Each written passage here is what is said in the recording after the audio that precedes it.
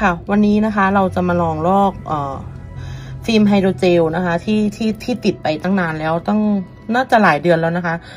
ก็เพราะว่าเห็นในในเพจที่เขามารีวิวแล้วมันลอกนะคะ นี่ก็นี่ก็กลัวแต่ว่า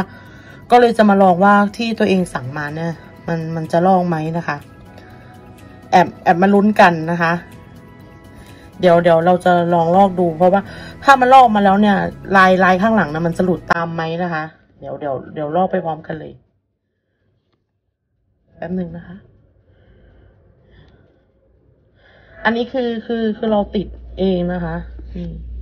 แอบแอบแอบใจใจสั่นกับสติกเกอร์น้องแบมนิดนึง แป๊บหนึ่งนะคะ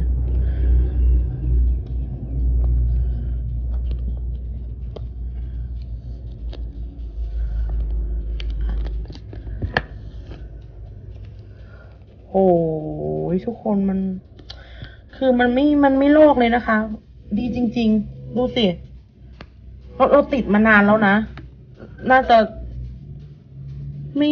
เป็นสองสามสี่เดือนได้เลยนะคะ นี่ ดูสิทุกคนคะคือคือเราพูดผิดไปนะ ที่เราบอกมันไม่ลอกอะ ทุกคน เราเราต้องขอโทษด้วยเยอะๆเลยนะคะ คือคืออย่างนี้เราเราไม่เจอเราไม่เห็นในคลิปนะ พอเรามานั่งดูดูแบบ สำรวจนี่ไง มันมันลอกอยู่นิดนึงนี่ไงตรงนี้ไงทุกคน นี่นี่นี่ตรงนี้นะนี่เห็นไหมเห็นไหมเห็นไหมหัวใจแหว่งไปด้วยนี่ นี่ เดี๋ยวเราจะได้บอกน้องชายว่า เดี๋ยวเนี่ยอ่าเดี๋ยวเราจะได้บอกน้องดูลองดูว่าจะเป็นแบบของเราไหมนะคะ แต่ส่วนตัวของเรานี่เป็นอย่างนี้นะ แล้วเราใช้มาตั้งแต่เดือนเมษา น่าจะเข้าเดือนที่สี่แล้วนะคะ สี่เดือนแล้วนะที่เราที่เราติดฟิล์มอันนี้มานะคะ เนี่ย นี่นี่เลยนี่นี่นี่ตรงนี้ตรงนี้นิดหนึ่งในคลิปก่อนหน้าเราก็คือเราเราไม่รู้นะคะ แล้วก็อวยอวยฟิล์มไปนะคะ แต่ว่ามันมันลอก